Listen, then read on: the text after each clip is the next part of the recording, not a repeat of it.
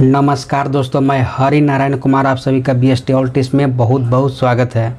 साथियों, आज के इस वीडियो में मैं मुख्यमंत्री उद्यमी योजना, जिसमें 10 लाख अधिकतम मिलता है, उसका चयन प्रक्रिया के मैं, बारे में मैं बताऊँगा। बहुत सारे लोग हमें कह रहे थे कि, सर, चयन प्रक्रिया के बारे में बताइए कि अगर मान लेते हैं कि अभी मैंने फॉर्म डाला है, उसके बाद आगे की प्रक्रिया क्या है? ये जो दस जो फॉर्म जो डाला गया है, इसमें खाता भी नहीं इस बार मांगा जा रहा है। और इसमें जो फाइनल जो प्रिंट होता है प्रिंट आउट होता है हार्ड कॉपी होता है, वो कहीं भेजना भी होता है कि आगे प्रक्रिया बताइए। तो ये चयन प्रक्रिया पर पूरी कंप्लीट वीडियो है। इसके बाद कोई वीडियो आपको देखने की आवश्यकता नहीं पड़ेगा। तो पहले मैं एक झलक में बता दूँ कि चयन प्रक्रिया जिलावार लक्ष्य निर्धारित किया गया है। यानी हर जिला के आधार पर आपको किस जिला में कौन सा उद्योग प्रोजेक्ट लागू होगा वो भी वहाँ पे डिसाइड किया गया है। और ये कॉमन एक बात है कि, कि कंप्यूटराइज रेंडोमाइजेशन सिस्टम से यानी लॉटरी सिस्टम से सिलेक्शन होगा। स्क्रूटनी की बात किया जाए तो मुख्यालय स्तर पर स्क्रूटनी होगा। आपको बहुत साल अभी भी कह रहे हैं कि सर स्क्रूटनी जब होगा तो दस्तावेज़ हमको वहाँ ले जाना पड़ेगा। क्या है? ए टू जेड बात मैं बताऊँगा।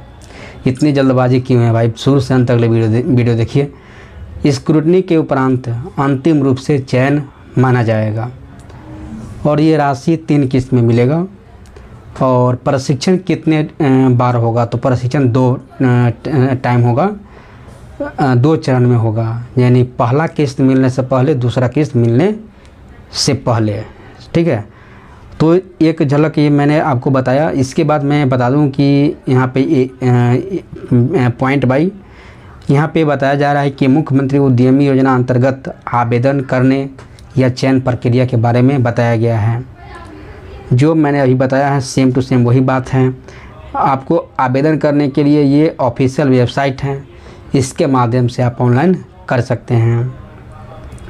इसके बाद यहाँ पे बताया जा रहा है कि दूसरा पॉइंट आप देखें तो जिला बार निर्धारित लक्ष्य के अनुरूप आवेदनों का प्रारंभिक रूप से चयन किया जाएगा, यानी ये जिलावार होगा। इसके बाद मैं बता दूँ कि आपको तीसरा पॉइंट जो चयन है कंप्यूटराइज रेंडोमाइजेशन सिस्टम से किया जाएगा।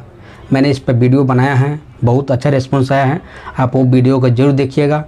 रेंडोमाइजेशन कैसे किया जाता है, कैसे होता है रेंडोमाइजेशन में, उसके बारे में मैंने दो वीडियो डाला है और यूट्यूब पे ट्रेंडिंग में जा रहा है। बहुत अच्छा खासा रैंक में है।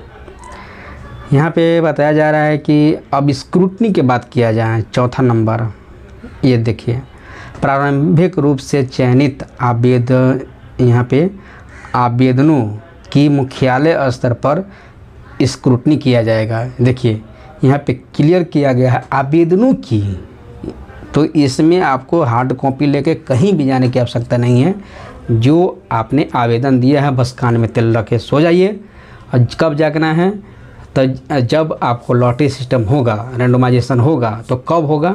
ये भी मैंने जो लॉटरी वाला सिस्टम है, उसमें मैंने डिस्कस डिस्कस कर दिया है।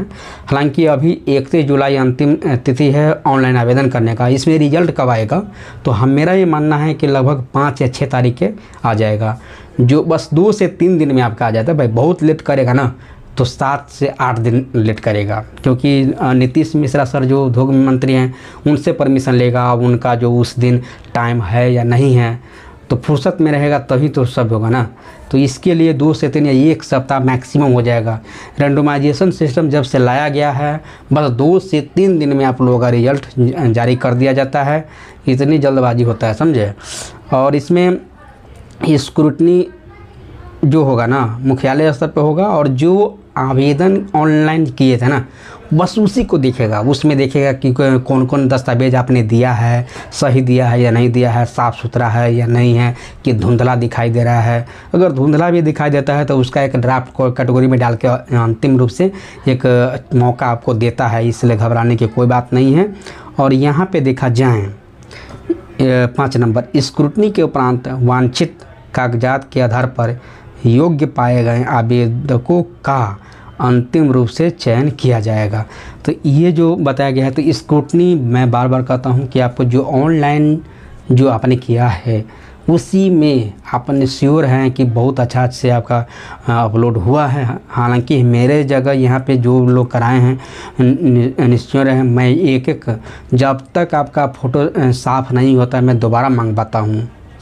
तो ये हम मेरे यहाँ जो फॉर्म डलवाता है, उसका स्क्रूटनी तो दो बार, तीन बार हो जाता है, क्योंकि आप खुद देखिए, फिर हमको भेजिएगा, हम उसको देखेंगे तो फिर कहेंगे, नहीं भाई, ये डॉक्यूमेंट आपका नहीं चलेगा। तो फिर हम भेजते हैं, समझे? तो दो बार, तीन बार स्क्रूटनी हो जाता है मेरे यहाँ। तो मेरे यहाँ जी, जो अप्लाई होता है ना, अगर फाइनल इसमें नाम आ गया तो वो छंट नहीं सकता है इतना श्योर है। और नोट यहाँ पे देखा जाए, दो नंबर देखिए नोट नोट बहुत अच्छा होता है, नोट से भेंट कराते हैं आपको। यहाँ पे बताया गया है कि आवेदक उसी ज़िले में अपने परियोजना को स्थापित करेंगे, जिस ज़िले का अस्थाई निवासी है, अन्यथा उनके आवेदन को रद्द कर दी जाएगी। समझे? एक शख्स हमको बताया कि, सर, लड़की का जो मायके है, यानी माता जी पिताजी जी जी का घर जमुई ज़िला में है। और उनका जो शादी होकर के आया है मधुबनी ज़िला में, है ना? ध्यान दीजिएगा मेरे भाई। अब इस केस में हम चाह रहे हैं कि जमुई में ही, जमुई में ही अपना जो प्रोजेक्ट है वो लगाएँ। तो ऐसा हो सकता है क्या? तो यहाँ पे क्लियर किया गया है कि आवेदक उसी ज़िले में परियोजना को स्थापित करेंगे, जिस ज़िले का स्थायी निवासी है। तो भाई तो निवास, या तो आप क्या करो कि निवास प्रमाण पत्र जो है, जहाँ उनका जन्म धरती है लेडीज़ का, वहाँ के बना लीजिए। अगर, क्योंकि यहाँ पे पति यहाँ चलाया मधुबनी में तो मधुबनी में जो पति चलाया, जैसे जमुई हैं, जमुई, है ना? तो जमुई में माता पिता यहाँ रहती है माता पिता रहती है, ठीक है? और एक है मधुबनी, यहाँ क्लियर, मधुबनी।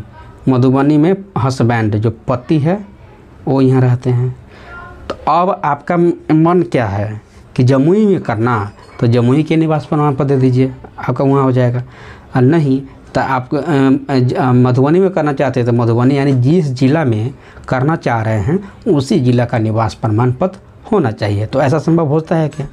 तो यहाँ पे थोड़ा बनाने में आपको दिक्कत हो जाएगा, क्योंकि तब यहाँ पे करना चाहते हैं तो हसबैंड का नहीं करना पड़ेगा। आपको सारा चीज़ आपको जो देना पड़ेगा पिता के नाम से ही तभी होगा। नहीं तो हस्बैंड के नाम से लगाइएगा तो जाति रिजेक्ट करेगा, वहाँ पे जाति तो खैर आपको बनेगा, पिता के नाम से ही बनेगा, लेडीज़ का। क्या? तो पिता के नाम से बनेगा और निवास प्रमाण पत्र आप जहाँ का बनाना चाहें, आप बनाएँ, आप अपने हिसाब से देख लीजिएगा। क्योंकि निवास अगर जमुई में कराना चाहते हैं माता पिता के हैं तो वहाँ के एड्रेस से ही सारा काम आपका होगा। अगर मधुबनी में आप करना चाहते हैं तो यहाँ पे पिता का यहाँ से जाति बन जाएगा और निवास पति यहाँ से बन जाएगा। आई होप ये समझ में आपको आया होगा। नहीं तो वीडियो को रिप्ले कर लीजिएगा। तो यूँ समझिए ना, इनके कहना है कि मान लेते हैं यहाँ देखिए ना ये नंबर आपका जो है सलूशन एकदम सटीक जानकारी है। इनका कहना है कि आवेदक उसी ज़िले में परियोजना को स्थापित करेंगे जिस ज़िले का अस्थाई निवासी है। समझे? तो निवास प्रमाण पत्र जहाँ के दीजिएगा, वहाँ आपको बनाना पड़ेगा। अन्यथा उनके आवेदन को रद्द कर दिया जाएगा। नहीं तो दिक्कत हो जाएगा। वहाँ पे बहुत का ऐसा हमारे पास केस आता है कि दूसरे ज़िला में होने के कारण उनका रिजेक्ट किया गया है तो रद्द हो जाएगा। ओके, अब यहाँ पे दूसरा नंबर जो बताया गया है कि आवेदक, आवेदन करते समय परियोजना का चयन सावधानीपूर्वक करें। परियोजना कुछ लोग अंधुनारे डाल रहे हैं कि चलो भाई, कोई डाल देते हैं। मेरा सलेक्शन में नाम आ जाना चाहिए, लेकिन यहाँ क्लियर किया हुआ है कि एक बार परियोजना चयन के उपरांत उसमें परिवर्तन नहीं किया जाएगा। तो इसमें परियोजना में आप एक बार जो चेंज कर लीजिएगा, फ़िलहाल अभी जो है किस परियोजना एक बार आप जो कर देंगे तो प्रीवियस ईयर से ही चेंज नहीं हो रहा है। नहीं तो विगत उधर जाए तो होता था, लेकिन इस बारे में आप लोगों का नहीं होगा। नहीं होने का कारण है कि अगर मान लेते हैं कि परियोजना अगर कर किया जाए तो पूरे बिहार में खाली नोटबुक फैक्ट्री अगर लगाए तो खाली नोटबुक फैक्ट्री हो जाएगा। नहीं तो रेडीमेड वस्त्र हैं तो सिर्फ़ रेडीमेड वस्त्र हो जाएगा। तो इसलिए बैलेंस करने के लिए गवर्नमेंट ऐसा की है कि परियोजना आपको जो है ना अलग अलग सभी परियोजना को बैलेंस करके तब बिहार में लाया जाए ताकि ऐसे में, में बिहार का डेवलप होगा। समझे? नहीं तो एक ही परियोजना ज़्यादा मात्रा में हो जाएगा तो वहाँ पे मार्केटिंग अवेलेबल नहीं होगा। कोई ख़रीदने वाला ज़्यादा तो बेचने ही वाला हो जाएगा। तो इससे में दिक्कत हो जाएगी ये परेशानी आएगी। तो ये देख लीजिएगा। और परियोजना का जो चयन करते हैं तो अपनी रुचि के अनुसार करें। ऐसा ना करें कि आपको उसमें ऐसे मान लेते हैं कि कोई ऐसे शख्स हैं और ले लिए कि चमड़ा उद्योग वाला। अब उसमें उनको जो है ना, वो करना ही नहीं चाह रहे हैं तो बाद में प्रॉब्लम आएगी। तो ये सब ध्यान में आपको रखते हुए तब परियोजना का चयन करें। ओके?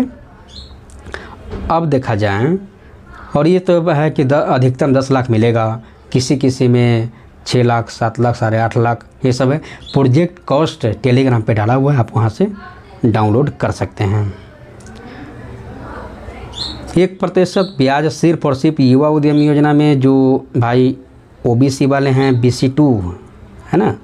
बी सी टू को देना पड़ेगा और एक जनरल जनरल वाले को देना पड़ेगा। एक प्रतिशत ब्याज। ओके? अब देखा जाए। इसमें यहाँ देखा जाए मॉडल जो डीपीआर है, के अनुकूल होगा। ऑफिशियल जो वेबसाइट है ना, उस पर मॉडल डीपीआर दिया हुआ है। तो उस समय परियोजना में कितना राशि है, वो उसमें भली भांति दिया हुआ है। अब इसमें कहना है, इनका जो मॉडल डीपीआर है तो उसमें कितना परसेंट आप चेंजेस कर सकते हैं। जो मशीन आएगा, जितने सामान आएगा ना ये मॉडल ऑफिशियल पोर्टल पर जो मॉडल डीपीआर दिया गया है, उसी के आधार पर आपको लेना है।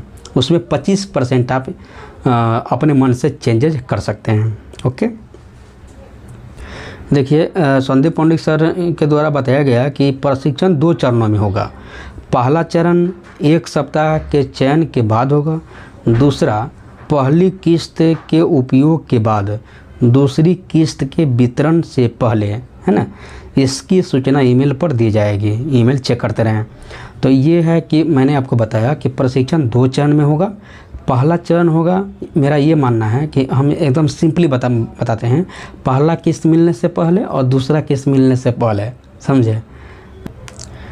और जो लोग अंतिम रूप से चयन होगा, स्क्रूटनी होगा, स्क्रूटनी के बाद जिनका कागजात सब सभी चीज़ सही रहेंगे कैटेगरी देखा जाएगा। जैसे बहुत सारे लोग क्या करते हैं कि एस सी में युवा वाले डाल देते हैं, युवा उद्यमी में एस सी वाले डाल देते हैं, एबीसी में बी सी टू वाले घुस जाते हैं तो वैसे लोगों को इसमें रिजेक्ट किया जाएगा। ओके जब फाइनल अंतिम रूप से अगर आपका सिलेक्शन हो जाता है तो उसके बाद ही आपका प्रथम चरण में छः दिवसीय प्रशिक्षण कराया जाएगा। इसकी सूचना आपको फ़ोन किया जाएगा और इसमें खुद से आपको ईमेल आईडी आपको चेक करते रहना है, या तो ईमेल आईडी के माध्यम से आपको सूचना दिया जाएगा, या तो खुद मैसेज के माध्यम से किया जाएगा व्हाट्सअप के माध्यम से किया जाएगा, या तो आपको खुद से कॉल करके किया जाएगा। इसलिए परेशान ना रहें, पूरे प्रोसेस में आपको डेढ़ से दो साल लग जाएँगे। समझे? कैसे लगेंगे क्योंकि नब्बे नब्बे दिन, तीन तीन महीना का क्या? तीन तीन महीना जो है उपयोगिता प्रमाण पहला केस का लगेगा फिर तीन महीना दूसरा केस का लगेगा तो इससे ही आपका टाइम पास हो जाएगा, समझे? हाँ और इसमें जो बताया जा रहा है कि मान लेते हैं कि किसी कारणवश पहला राउंड का अगर मान लेते हैं कि आपका पहला फ़ेज़ हुआ, दूसरा फ़ेज़ हुआ, तीसरा फ़ेज़ हुआ, अगर आपने उसमें पार्टिसिपेट ना करें तो ये ये बताया जा रहा है कि अभ्यर्थियों को प्रथम चरण के प्रशिक्षण में भाग लेने हेतु कुल दो, यहाँ पे बताया जा रहा है कि कुल दो मौका दिया जाएगा, तथा प्रशिक्षण के लिए निर्धारित तिथि तथा स्थान की सूचना आवेदक को आवेदन में दिए गए ईमेल या दूरभाष के माध्यम से है ना? प्रशिक्षण संस्थान द्वारा प्रदान किया जाएगा। यानी प्रशिक्षण संस्थान देखिए दो कॉल जा, जाता है। एक डीआईसी के माध्यम से जाता है यानी जिला उद्योग केंद्र का माध्यम से जाता है कि आपका प्रशिक्षण के लिए आपको लिस्ट आगे प्रसारित किया गया। फिर अब ये तो डीआईसी वाले तो प्रशिक्षण कराएँगे नहीं। प्रशिक्षण करे, कौन करेगा? प्रशिक्षण संस्थान वाला। अब वहाँ पे कैपेसिटी देखेगा, कितना बैठाने का जगह है। अब मान लेते हैं कि लिस्ट डीआईसी से साठ लोगों का भेजा। और वहाँ पे बैठाने का कैपेसिटी तीस लोगों का है। तो तीस लोग को क्या करेगा? बाद में लेगा। तो इसलिए अंतिम रूप से अगर जो प्रशिक्षण संस्थान से आपका कॉल जाता है, तभी आप लोग प्रशिक्षण के लिए जाएँगे। जिनका कॉल नहीं जाएगा नहीं जाना है, जिनका कॉल जाएगा, वही लोग जाएँगे। ओके? अब बताया जा रहा है कि दोनों बार में अनुपस्थित रहने वाले अभ्यर्थियों को की अभ्यर्थिता रद्द किया जाएगा। अगर दो मौका आपको दिया जाएगा, मान लेते हैं कि आपको एक बार आपको कॉल गया कि भाई, ट्रेनिंग कर लो, आप उसमें नहीं गए, बहाना मार दिए, या वक्त, या हो सकता है किसी का एग्ज़ाम हो गया, नहीं गया तो छोड़ो भाई दूसरका में दूसरका में वही, तब अंतिम रूप से आपको दो बार आपको मौका मिला, आपने प्रशिक्षण नहीं किया। ना करा करके रह जाइएगा, नहीं होगा। और नया आवेदन भी आगे नहीं कर कर पाएँगे क्योंकि करने जाएँगे तो आपने भले ही फाइनल लिस्ट में आपका नाम आया है, आपको लाभ ना मिला हो, फिर भी वहाँ पे आवेदन करने जाएँगे तो पहले से मौजूद बताएगा। तो ऐसा केस आया है, समझे? आगे देखा जाए। तो ये तो आपको समझने की आवश्यकता नहीं कि हाँ इनमें बताया गया कि जो प्रशिक्षण, अगर प्रथम चरण के प्रशिक्षण के उपरांत आवेदक के इकाई के नाम से करेंट अकाउंट में प्रथम किसकी राशि जो है आर टी जी एस या एन ई एफ़ टी के माध्यम से किया जाएगा।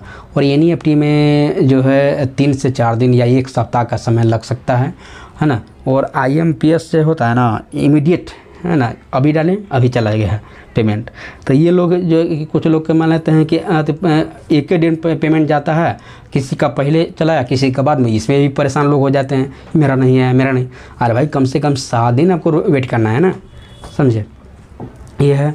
और इस, यही पे मैं एक मेंशन कर दूँ कि जब इस बार आप आवेदन करने जाएँगे तो फर्म के नाम से करेंट अकाउंट देना है।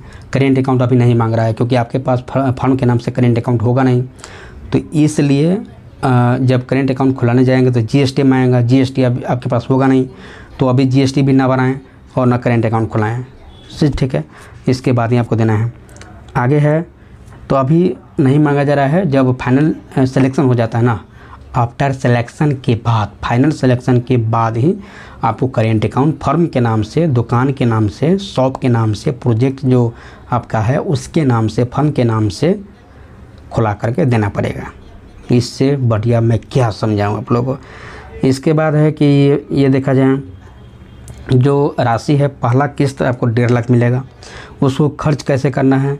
तो इनका कहना है कि आप जो बिजली कनेक्शन या जो सेफ्टी किट है, उसके लिए पच्चीस हज़ार आपको देगा।